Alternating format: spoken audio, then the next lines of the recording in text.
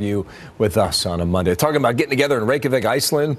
I mean, shades of Ronald Reagan and Gorbachev from some time ago. So hang on, folks. It's going to be a new time. Yeah, and with Trump talking about the things that we do have in common with Russia, although we have many conflicts. If you think about going after ISIS together and those kinds of things, if you can leverage to those ends and with Syria in mm-hmm. mind, I understand. Seems that's, seems that's the way he's thinking. So more to come, certainly. We shall see. Oh, You as they get ready in our nation's capital. They have been working for this for months.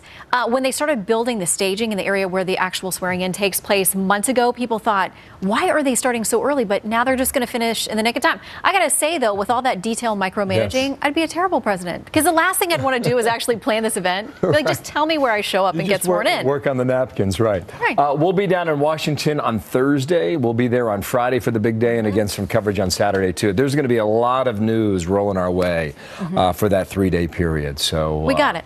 Be with us starting Thursday morning. You know all about that circus, don't you, Shannon? I do. They have deep roots there outside of Yes. Mm-hmm. Sarasota. You know, in Florida, we have a lot of parks that involve animals and animal Mm-hmm. shows. yeah, wild stuff. Elephants, sometimes we're wrestling alligators, whatever.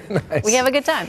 Well, I mean, everyone's a fan of the circus, so Yeah. it's. Um, It's been some It's controversy. a new. They, well, they've come under a lot of heat, right, from different areas.